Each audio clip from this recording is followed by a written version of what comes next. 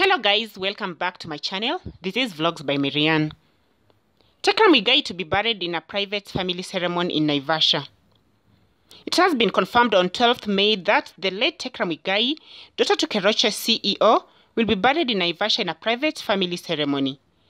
Tecra was a sister to influencer Anerlisa Muigai.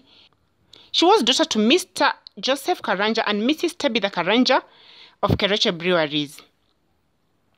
In a media advert celebrating her life, the eulogy read The family of Tecra wishes to thank friends from far and wide for the deep outpouring of heartfelt condolences. Tecra's interment will be held at a private family ceremony. It is with deep and profound sorrow that we accept the tragic and ultimately death of Tecra Wangari Muigai that occurred on 2nd May 2020 at the Nairobi hospital. The late Tecra was a dynamic, creative, and empathetic leader who touched many lives. She was also an iconic, transformational thinker, intellectual, and a brilliant philosopher. She was passionate about the country, Kenya, and its people, and always advocated for equal opportunities for everyone. Until her death, Tecra was the Strategy and Innovations Director at Keroche Breweries. She has passed on at her prime. The Lord gives, and the Lord taketh. In God's hands you rest surrounded by angels.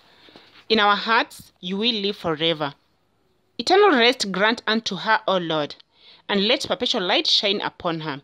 May you rest in peace.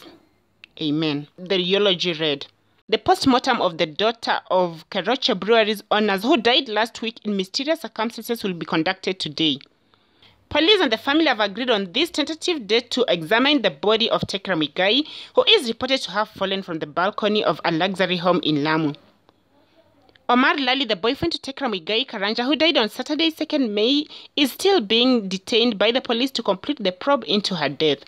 Mr. Lali, who is in his mid-50s, faced Lamu Principal Magistrate Alan Temba by video link on Tuesday following his arrest over Tecra's death.